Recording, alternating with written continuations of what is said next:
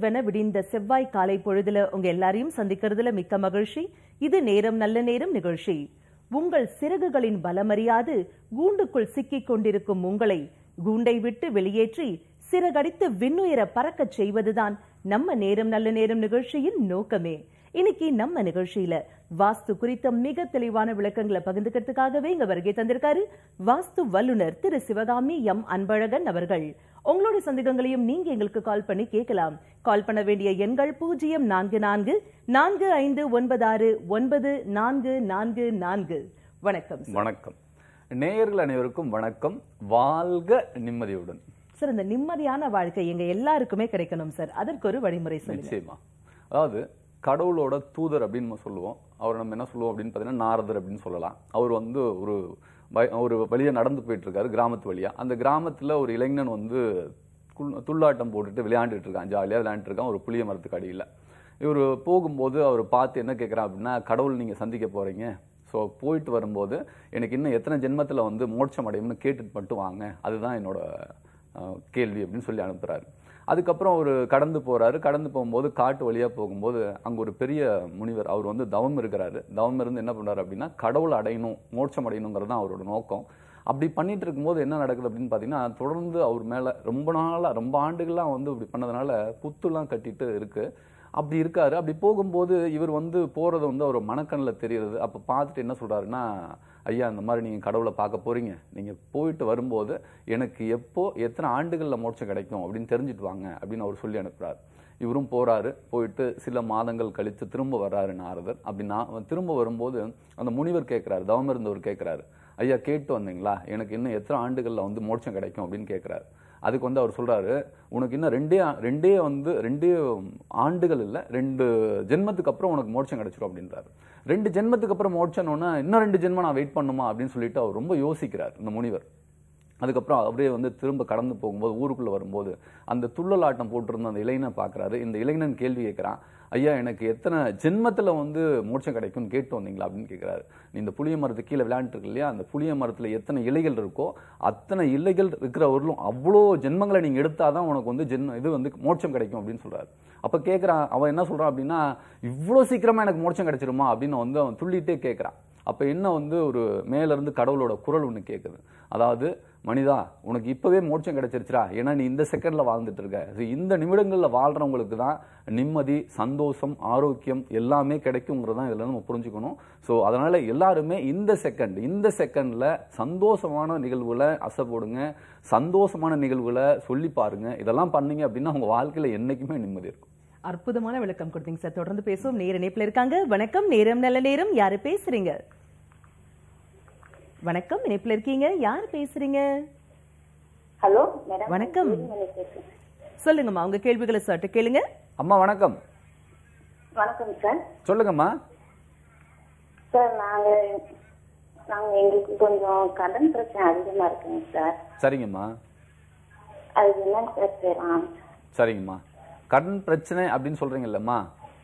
ஆமாங்க சார். ரைட்டுங்கம்மா உங்ககிட்ட பணம் எவ்வளவு எக்ஸ்ட்ரா இருக்கணும்னு ஆசைப்படுறீங்கம்மா. இல்லைங்க சார் நாங்க நல்லா வேலை பார்க்குறோங்க சார் நானும் எங்க வீட்டுக்கார எல்லாரும் நல்லா தான் வேலை பார்க்குறோம். சரிங்கம்மா. சரிங்கம்மா. அதாவது இந்த இடத்துல மனநிலை பாருங்கம்மா. கடன் பிரச்சனை அப்படின்னு சொல்லாதீங்கம்மா. உங்ககிட்ட பணம் ஏற்கனவே நிறைய இருக்கிற மாதிரி கற்பனை பண்ணுங்கம்மா. கடன் எல்லாம் அடைச்சிட்டா என்ன மனநிலை உங்களுக்கு இருக்குமோ அந்த மனநிலையை கொண்டு வாங்கம்மா. அதாவது இப்போ உங்களுக்கு ஒரு பத்து லட்ச ரூபாய் கடன் இருக்கு அப்படின்னா ஒரு பத்து லட்ச ரூபாய் கையில இருந்தா என்ன மனநிலை இருக்கும்? அதாவது அந்த கடன் கொடுத்துட்டு மீதி இருந்தா என்ன மனநிலை இருக்குமோ அந்த மனநிலை கொண்டு வாங்க. கடன்கிற ஒரு வார்த்தையை நீங்க நிறைய அசை போடுறீங்கம்மா. அதை அசை போடுற விஷயங்கள் உங்களுக்கு கொடுக்குதும்மா. அதாவது கடவுள் நிறைய கொடுக்க தயாரா இருக்காரு இந்த இயற்கை கொடுக்க தயாரா இருக்கு உங்ககிட்ட நிறைய பொருள் இருக்கு அப்படிங்கறத மட்டும் நம்புங்கம்மா. அந்த நம்பிக்கை வந்து உங்களுக்கு பெரிய பெரிய லெவல்ல கொண்டு வரும்மா. நல்ல கேள்வி கேட்டதுக்கு வாழ்த்துக்கள். அழைப்பிற்கு நன்றி. வணக்கம். நேரம் நல்ல நேரம். யாரு பேசுறீங்க? வணக்கம் மேடம். வணக்கம் சார். யார் பேசுறீங்க? விஸ்வநாதன் மேடம். திருச்செங்கோடு. சொல்லுங்க சார். உங்க கேள்விகளை சற்று கேளுங்க. சார் வணக்கம். வணக்கம் சார். சொல்லுங்க? சார். சொல்லுங்க சார். சார் வணக்கம் சார். இப்போ மேற்கு பார்த்து வீடு குடியிருக்கோம் சார். அதனால உடல்நிலை ப்ராப்ளம் இருக்கிறதுனால வாஸ்து என்ன பண்ணலாம்? என்ன திசை பார்த்து வீட்டு இருக்கு ஹலோ. சார். எந்த திசை பார்த்து இருக்குன்னு சொன்னீங்க? மேற்கு திசை சார். மேற்கு திசையில இருக்க எல்லாருக்குமே நோய் வரும்னு நினைக்கிறீங்களா? இல்ல எனக்கு ப்ராப்ளம் ஆகுது சார். சரிங்க சார். அதாவது சார் திசை வந்து விஷயமே அல்ல ஸோ உங்களை பொறுத்தவரை என்ன அப்படின்னு பார்த்தீங்கன்னா அந்த அமைப்புகள் வந்து தெளிவா இருக்கான்னு பாருங்க. கிழக்கு வடக்கு ஜன்னல் அதெல்லாம் இருக்கான்னு பாருங்க. உச்ச வாசல் இருக்கான்னு பாருங்க. தெருக்கூத்து இருந்ததுன்னா அது சரியா நல்ல என்ன சார்? கோட்ரஸ் அப்படின்னாவே என்ன பண்ணுவாங்க அப்படின்னு பார்த்தீங்கன்னா சார் நான் ஏற்கனவே இதை பற்றி நிறைய பேசியிருக்கேன். ஏதாவது ஒரு கார்னர் கட் பண்ணி தான் சார் வச்சிருப்பாங்க. ஸோ கட் பண்ணியிருக்கிற ஒரு கார்னர் கட் பண்ணியிருக்கிற எந்த வீட்லையும் குடியிருக்கிறது சிறப்பானது அல்ல ஸோ அப்படி இல்லாமல் சதுரம் செவகம்ங்கிற ஒரு அமைப்பு இருக்கிற ஒரு வீட்டுக்கு போங்க. அதில் வடக்கும் கிழக்கும் ஜன்னல் இருக்க ஒரு வீட்டுக்கு போங்க. நல்ல மாற்றத்தை நீங்கள் அனுபவிப்பீங்க. உங்கள் ஆரோக்கியம் மேம்படும் சார். அழைப்பிற்கு நன்றி. சார் இந்த குவார்டர் சொல்லும்போது எனக்கு ஒரு சந்தேகம் சார். இப்போ பேங்க் எம்ப்ளாயிஸ்லாம் எடுத்துக்கோங்களேன். அவங்க வந்து ஒரு சில வருஷங்கள் தான் வந்து ஒரு இடத்துல இருப்பாங்க இல்லைங்களா? அவங்க வந்து டிரான்ஸ்ஃபர் ஆயிட்டே இருக்கும். அப்படி இருக்கும்போது அவங்க அந்த பேங்க்ல கொடுக்குற குவார்டர்ஸ்ல தான் தங்கக்கூடிய ஒரு சூழல்ல இருப்பாங்க. அவங்க எப்படி சார் வாஸ்து பார்ப்பாங்க? ரைட் ஸோ இந்த கோட்ரஸ் அப்படின்னு வரும்போது நம்ம என்ன பார்க்கலாம் அப்படின்னு பார்த்தீங்கன்னா ஏதாவது ஒரு கார்னர் கட்டாக இருந்ததுன்னா அந்த கார்னரை எப்படி சரி பண்ணி நம்ம பயன்படுத்தலாம்? உங்கள் பயன்பாட்டில் இருக்க வரலும் ஒரு மினிமமாக ஒரு ஒரு குறைவான செலவுகளை பதி சரி பண்ணி நீங்கள் அதை சதுரம் செவகமாக மாற்றிக்க முடியும். நீங்கள் இருக்கிற வரலும் அப்படி இருங்க. அதுக்கப்புறம் நீங்கள் போகும்போது மறுபடியும் அதை எடுக்கக்கூடாது அப்படின்னு சொன்னாங்கன்னா அதை எடுத்து கொடுத்துட்டு கூட போங்க. பட் அதுக்காக ஒரு ஒரு லட்ச ரூபாய் செலவாகுதுன்னா கூட உங்களோட வாழ்க்கையில் நீங்கள் மிகப்பெரிய லெவலில் ஒரு லட்ச ரூபாய் அப்படிங்கிறது ஒரு கோடி ரூபாயை கொடுத்துட்டு போயிருக்கோம். ஏன்னா ஆரோக்கியத்தை மிஞ்சின உலகத்தில் எதுவுமே இல்லைங்கிறது தான் முக்கியம். நம்ம அதை பாருங்கள் அப்படி வேணும் அப்படின்னா அப்படி செஞ்சுட்டு பண்ணிங்கன்னா ரொம்ப சிறப்பாக இருக்கும். ஓகே சார் செலவு செய்ய முடியாத சூழல்ல இருக்கிறவங்களுக்கு ஒரு மாற்று வழிமுறை ஏதாவது இருக்கா? நீங்க பேங்க் அப்படின்னு சொல்லிட்டீங்க. பேங்க் அப்படின்னாவே அவருக்கு செலவு பண்ணக்கூடிய சூழ்நிலை நிச்சயமா நல்லா இருக்கும். பட் அப்படியும் முடியாது அப்படின்னு எடுத்துட்டீங்கன்னா நீங்க ஒரு தட்டி எடுத்து கூட பண்ணலாம். ஒரு பத்தாயிரம் ரூபாய் செலவுல கூட நீங்க சரி பண்ணிக்க முடியும். பட் அது எப்படி பண்ணணுங்கிறது மட்டும் தெளிவா தெரிஞ்சுட்டு பண்ணீங்கன்னா சிறப்பா இருக்கும். அற்புதமான விளக்கம் சார் தொடர்ந்து பேசுவோம். நேர இருக்காங்க. வணக்கம். நேரம் நல்ல நேரம். யாரு பேசுறீங்க? வணக்கம். யார் பேசுறீங்க? மேடவாக்கம்ல இருந்து ஹேமலதா பேசுறேன். சொல்லுங்கம்மா உங்க கேள்விகளை சட்டு கேளுங்க. அம்மா வணக்கம். நாங்க சொல்லுங்க. சொல்லுங்கம்மா. ஏன்னா எங்க வீடு வந்து கிழக்கு பார்த்த வீடு. சரிங்கம்மா. இப்போ வந்து வாசக்கால் வைக்கிறோம். அதுக்கு என்னென்ன முறையில எப்படி வைக்கணும்? அப்புறம் வந்து எங்களுடைய வீட்ல வந்து தென்மேற்கு பக்கத்துல வந்து ஜன்னல் இருக்கு சார். வேற வைக்கிற இடமே இல்ல.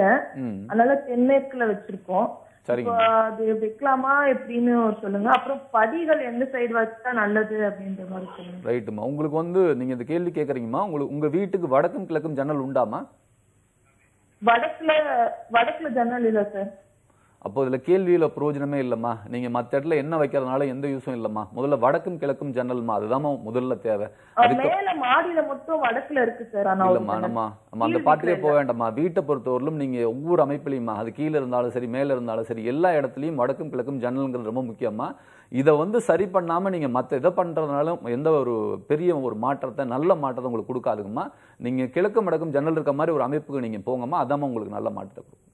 ஓகே சார் இப்போ வந்து நாங்க எல்லாருமே சந்தோஷமான சுலபமான ரொம்ப ஈஸியா வாழ்ந்துட்டு போனோம் சார் அதற்கு ஒரு வழி சொல்லுங்க சார் அதாவது இப்போ என்ன நம்ம பண்ணிட்டு இருக்கோம் அப்படின்னு பார்த்தீங்கன்னா பெரிய பெரிய பிரம்மாண்டமான ஹாஸ்பிட்டல்ஸ்லாம் கட்டிட்டு இருக்காங்க கோடிக்கணக்கான ரூபாயில செலவு பண்ணி கட்டிட்டு இருக்காங்க எதுக்காக கட்டுறாங்க?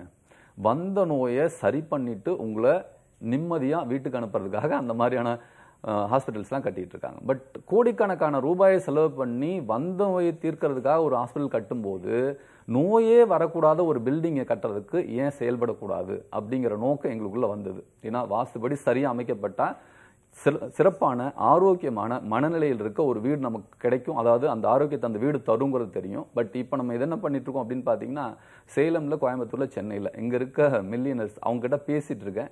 பட் என்ன அப்படின்னா அவங்களோட இடத்த கொடுத்து அதுக்குண்டான கன்ஸ்ட்ரக்ஷனே அவங்க கொடுக்கணும் அப்படிங்கிற கே பேசிட்டு இருக்கோம். அதுக்கும் வந்து ஒரு சிலர் ஒத்துழைக்க சொல்லியிருக்காங்க ஒத்துழைப்பு தரதா சொல்லியிருக்காங்க. பட் அந்த மாதிரி ஒரு காலகட்டம் வரும்போது எப்படி பிரம்மாண்டமான ஹாஸ்பிட்டல்ஸ் கட்டப்படுதோ பிரம்மாண்ட பிரம்மாண்டமான ஃபைவ் ஸ்டார் ஹோட்டல் கட்டப்படுதோ அது போல் வந்து பிரம்மாண்டமான ஒரு தங்கும் விடுதி. அதாவது அங்கே வந்து தங்குற எல்லாருக்கும் எல்லா மனநிலையும் சரி.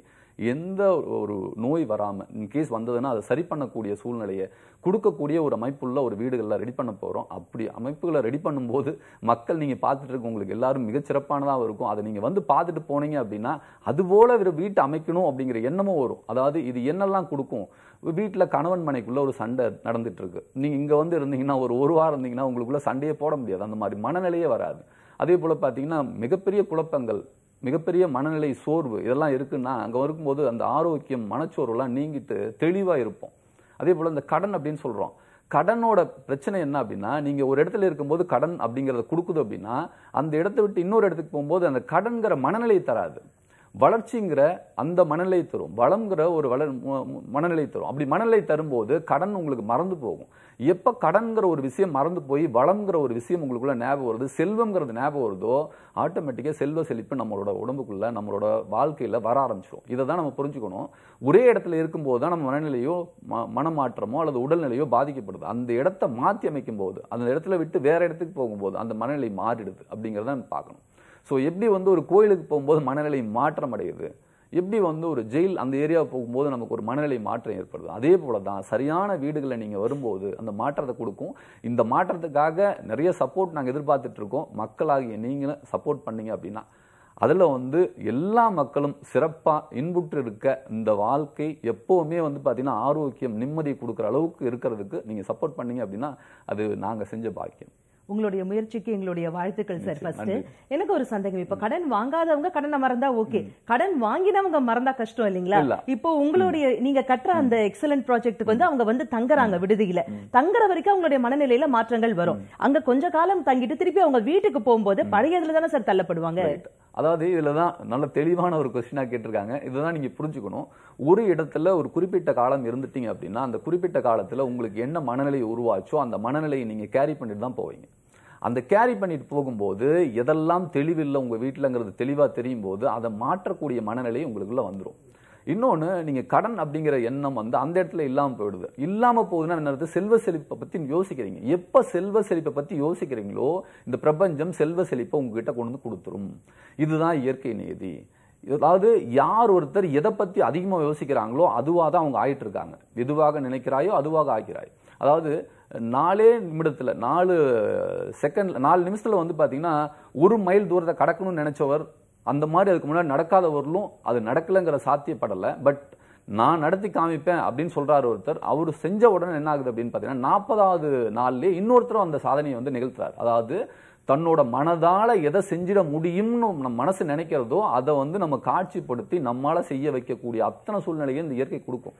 பட் என்ன நம்ம நினைக்கணும்? மனதால நினைக்கணும். இப்போ மனதால் நினைக்கிறால தான் அவங்களாம் மகான்கள் அப்படின்னு சொல்கிறோம் நம்மால் அது முடியல அப்படின்னா அது வீடு தான் காரணம். அந்த வீட்டை விட்டு வெளியில் வந்து சரியான ஒரு அமைப்பில் இருக்கும்போது நம்ம மகான்களுக்கு உண்டான அல்லது ஆரோக்கியமான செல்வ செழிப்பான ஒரு வாழ்க்கையை வாழக்கூடிய அத்தனை தகுதி நமக்குள்ளே வந்துரும். அதுக்கு அந்த மனநிலை தான் காரணம்.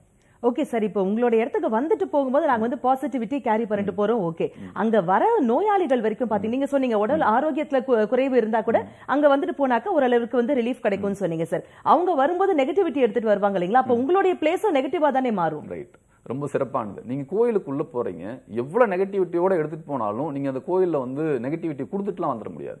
அதாவது இவ்வளோ பேர் மோசமான ஆட்கள் அந்த கோயிலுக்குள்ளே வந்தாங்க அந்த கோயில் ரொம்ப மோசமாயிடுச்சு அப்படிங்கிற எந்த கோயிலையும் உங்களால் சொல்ல முடியாது. ஏன் அப்படின்னா அந்த இடத்துல எனர்ஜி ஃபீல்டு தான்.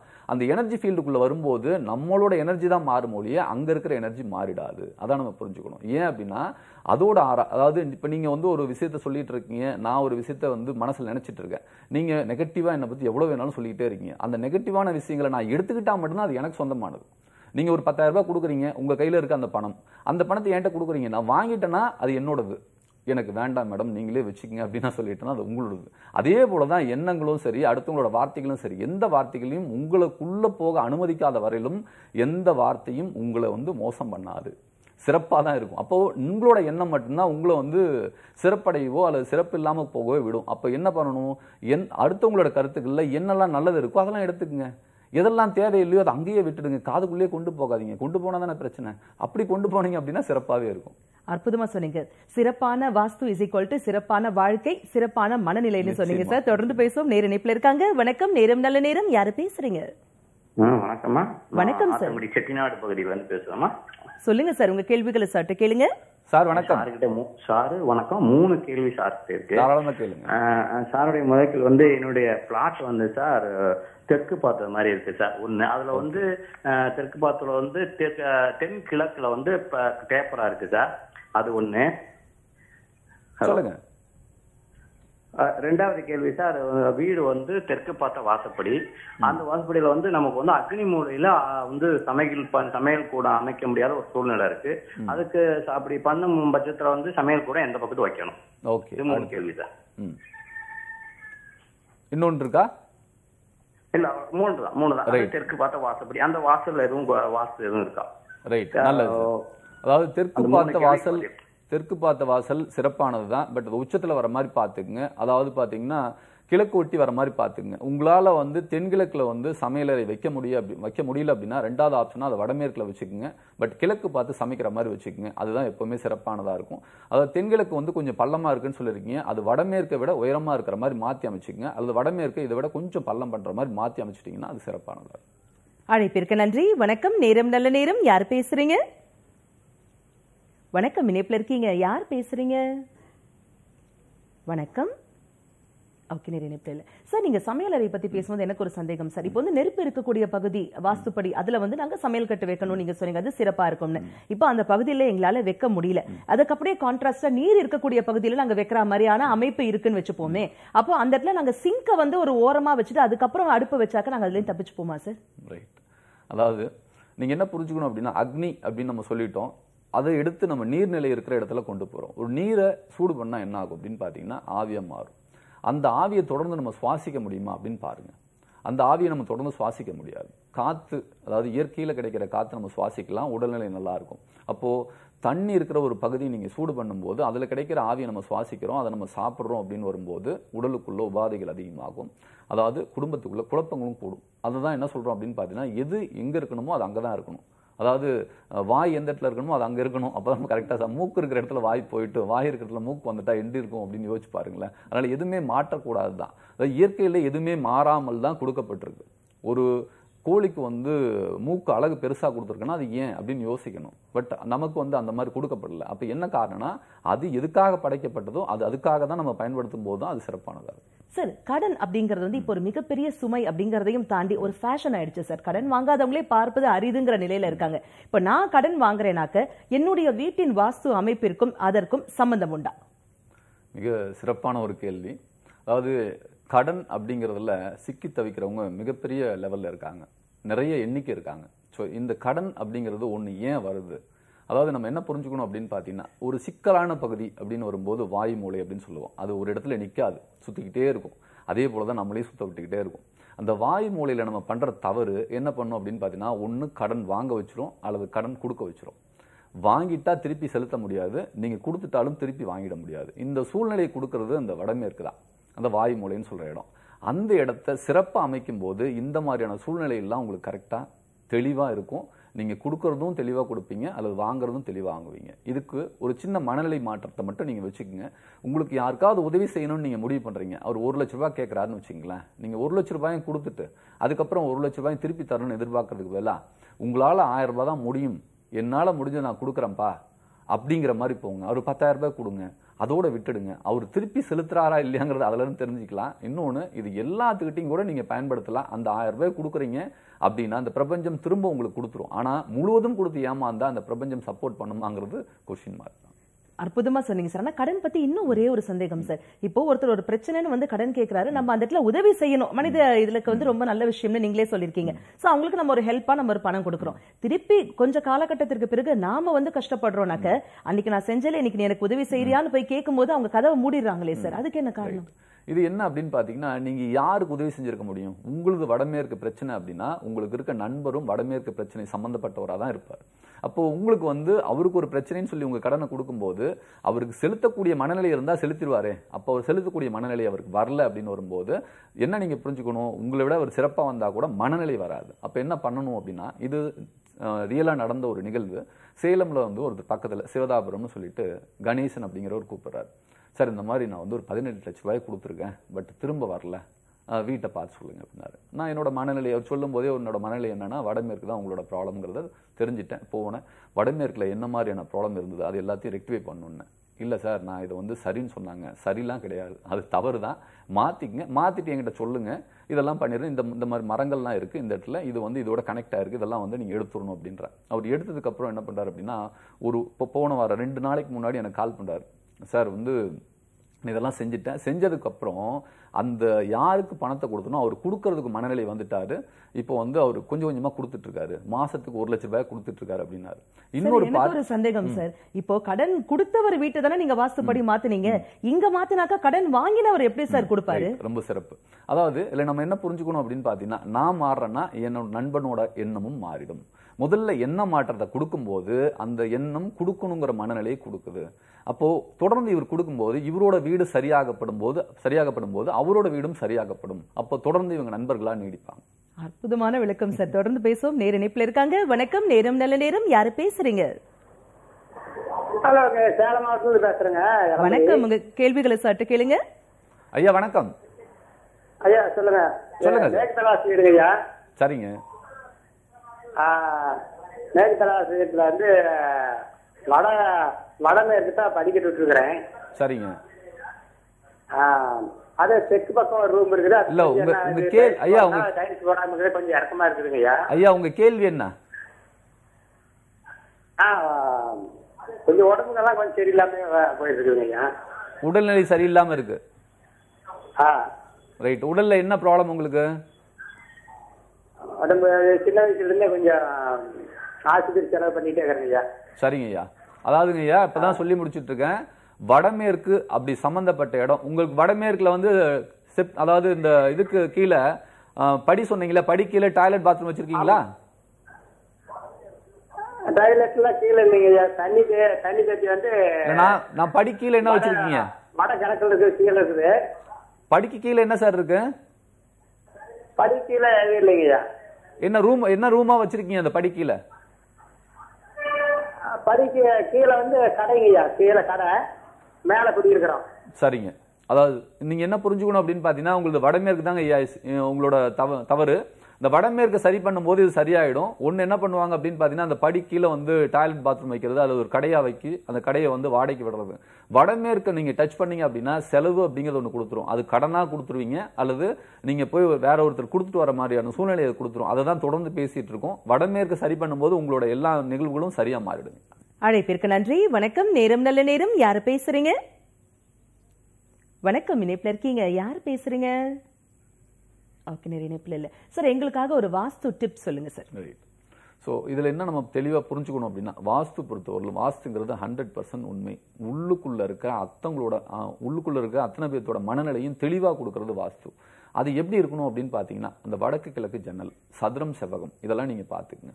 சமீபத்தில் என்ன நடக்குது அப்படின்னு பார்த்தீங்கன்னா ஒரு வீட்டில் அந்த கணவன் மனைவிக்குள்ள உறவுகள் பாதிக்கப்படுது. அவங்க என்ன பண்ணுறாங்க அப்படின்னா கோர்ட்டு கேஸுன்னு போயிட்டு அதுக்கப்புறம் அவங்க ரெண்டு பேர்த்துக்குள்ளே பிரிவை கொண்டு வரணும் அப்படின்னு ஒரு முடிவு எடுக்கிறாங்க. அப்போ என்ன பண்ணுறாரு அப்படின்னா அந்த ஆண் அவரோட இதிலிருந்து தம் நம்மளை தொடர்பு கொண்டு அவங்க என்ன பண்ணுறாங்கன்னா இதிலிருந்து வெளியே வர்றதுக்கு எனக்கு அந்த பெண்ணை ரொம்ப பிடிக்குது பட் எங்களுக்குள்ள அந்த தொடர்பு வந்து அத்து போகிறதுக்கு என்ன காரணம் அதை சரி பண்ணி கொடுங்க அப்படின்றாரு. அப்போ அவர் என்ன பண்ணுறோம் அப்படின்னு பார்த்தீங்கன்னா அவரோட இங்கேயும் பாருங்க ஒரு பிரிவு ஒரு விளக்கத்தை கொடுக்கறதும் அந்த வடமேற்கு தான் அப்போ அந்த வடமேற்கு இன்னொன்று தென்மேற்கையும் பார்க்கலாம். இந்த ரெண்டையும் சரி பண்ண சொன்னேன். அவர் என்ன யோசிச்சாருன்னா என்ன சார் என்ன நீங்கள் இப்போ இதை ரெண்டையும் சரி பண்ண சொல்கிறீங்களே அவங்க மனநிலை மாறணும். நீங்கள் மாற்றுங்க உங்கள் மனநிலை மாறுச்சுன்னா உங்கள் மனைவியோட மனநிலை மாறும் அப்படின்னு. இது ரெண்டையும் மாற்றுறாங்க மாற்றி முடிச்சதுக்கப்புறம் என்ன பண்ணுறாங்க அப்படின்னா ஒரு ஒன் மந்த் தான் திரும்பவும் அவங்களுக்குள்ளே வந்து ஒரு தொடர்பு ஏற்பட்டு தொடர்ந்து அவங்க வந்து பார்த்திங்கன்னா மன வாழ்க்கை வந்து தொடர்ந்து வாழ்ந்துட்டுருக்காங்க ஸோ நம்ம என்ன தெளிவாக புரிஞ்சுக்கணும் அப்படின்னா எந்தெந்த இடங்கள் எந்தெந்த காரணம் அப்படிங்கிறத தெளிவாக புரிஞ்சுட்டோம் அப்படின்னா இப்போ நான் என்ன சொல்லிட்டேன் கணவன் மன உறவு பாதிக்குது அப்படின்னா தென்மேற்கும் வடமேற்கும் சொல்லியிருக்கேன். அதை சரி பண்ணும்போது அவங்களோட வாழ்க்கை மாறுது. இந்த மாதிரி மாறும்போது உங்கள் வாழ்க்கை எப்போவுமே நல்லாயிருக்கும் வரம் போன்ற தகவல் சொன்னீங்க சார். வாஸ்து குறித்து நிறைய விளக்கங்கள் பகிர்ந்துட்டீங்க. நிறைய பேருடைய கேள்விகளுக்கு தெளிவான பதில்களும் கொடுத்தீங்க சார். மிக்க நன்றி. நேரில் அனைவருக்கும் நன்றி. வாழ்க நிம்மதியுடன்.